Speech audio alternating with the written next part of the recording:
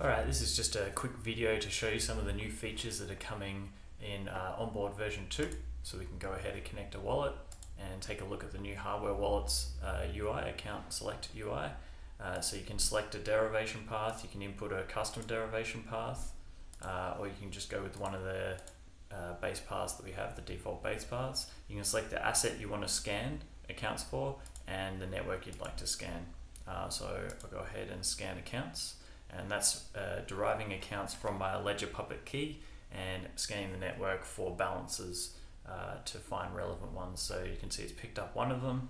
Uh, we can show empty addresses if I'd like to select a, a, uh, a, new account, fresh account to connect to, but I'll just connect this one here. You can see onboard is connected the ledger wallet, uh, it's connected to the Rinkeby network, and you can see the balance. And so one of the new features of uh, version 2 is you can connect multiple wallets with multiple accounts per wallet. Uh, so Ledger's already connected. I can go ahead and connect my MetaMask wallet. I'll select a couple of accounts to allow access. And you can see MetaMask is connected there. Uh, it's actually connected to mainnet while the ledger is connected to Rinkeby. Um, we can change that in a second, uh, but I'll show you how you can easily add an extra account on the MetaMask wallet. Just switch across and that adds it there and onboard will go and fetch the balance and ENS details if there are any.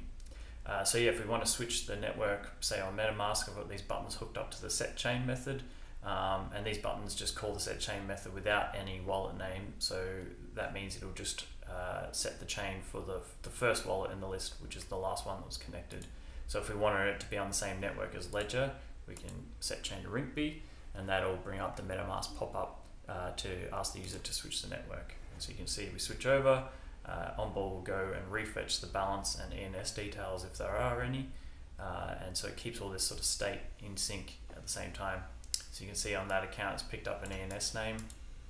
Um, and the other cool thing is if you want to set to a chain that the user does not have added to their wallet, say MetaMask, we can go, say for instance, set chain to Matic, and that'll bring up the MetaMask um, dialog to programmatically add uh, the network and, and onboard fills out all those details uh, for the app. Uh, so you can improve adding the network and then switch to network.